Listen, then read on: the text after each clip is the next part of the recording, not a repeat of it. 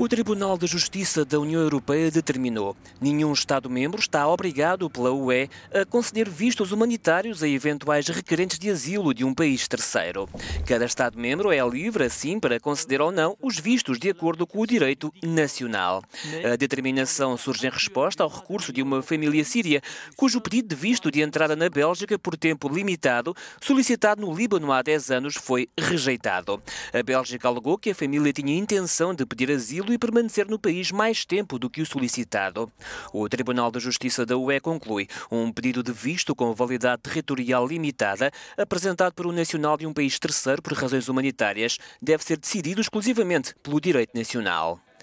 Na Hungria foi, entretanto, aprovada pelo Parlamento a reintrodução da detenção sistemática dos migrantes e refugiados que entram no país sem autorização.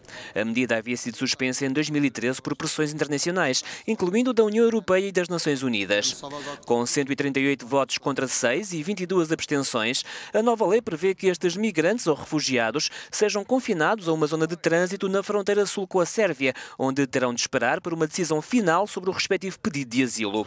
A ONU já já condenou esta revisão da lei anti-imigração aprovada em Budapeste e acusa a Hungria de violar as obrigações internacionais pelos direitos humanos.